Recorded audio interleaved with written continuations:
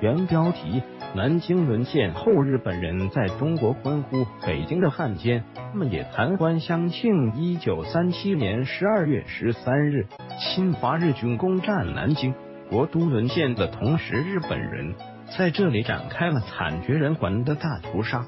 日本人在中国各地为了具有里程碑意义的事件进行庆祝。日本人深信占领整个中国的目标即将实现。图为十二月十四日北至派遣军司令官寺内寿一向庆祝的日本人群挥手。十二月十四日，在天津日本商业学校操场内旅居中国的日本在乡军人会、国防妇人会。的小学校的儿童举行了盛大的祝贺摇旗游行。在日军完全占领上海后，仅一个月便又占领了南京，这让在上海的日本居留民团激动万分。他们走到码头欢迎日本海军部队。在南京沦陷的第二天，十二月十四日中午。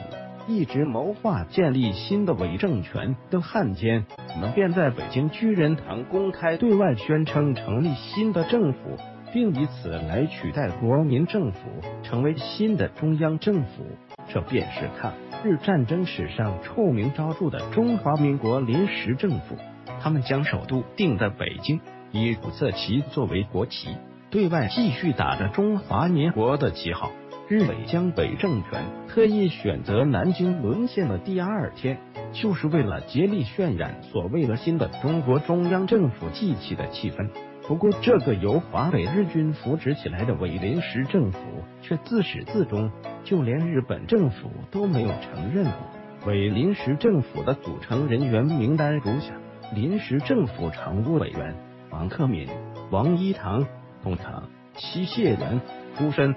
临时政府委员汤二和、董康、王克敏出身；王一堂、戚谢元、江朝宗、高领卫；行政委员会委员长王克敏；行政部总长王克敏兼治安部总长齐谢元；教育部总长汤二和；司法部总长朱审；政绩部总长王一堂；议政委员会委员长汤二和。